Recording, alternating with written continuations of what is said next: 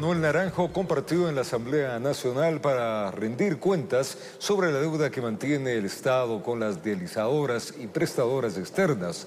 Naranjo aseguró que este, en medio de esta crisis está cancelado y se ha cancelado 10 millones de dólares y existe un compromiso para desembolsar 50 millones adicionales hasta finales del año. Veamos.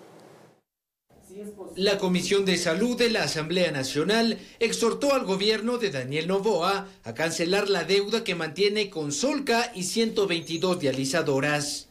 Integrantes de esta mesa legislativa aseguran que la situación del sistema público es crítica y que la vida de miles de pacientes estaría en riesgo.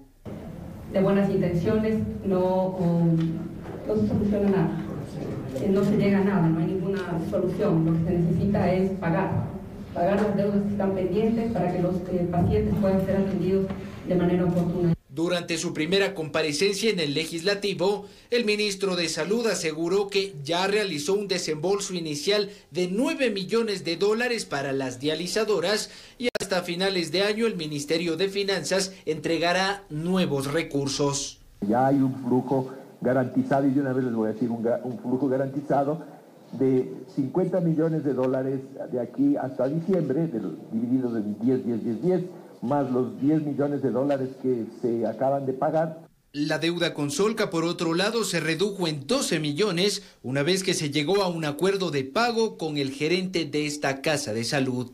A Solca como les había manifestado, la deuda está ahora en 78, ya están con los 12 menos de los 90 que había dicho, entonces estamos con los 78. Yo, le, yo le, paso esto. Los integrantes de esta comisión instaron al gobierno no solo a cancelar lo adeudado, sino también a ejecutar de manera eficiente el presupuesto asignado para la salud pública. La ejecución presupuestaria no llega ni al 30% en algunos hospitales. Es por eso que desde diciembre hemos nosotros fiscalizado y hemos encontrado hospitales sin medicina, sin insumos y equipos dañados. El Ministerio de Salud también se comprometió a equilibrar y transparentar las derivaciones a prestadores privados a fin de evitar actos de corrupción, informó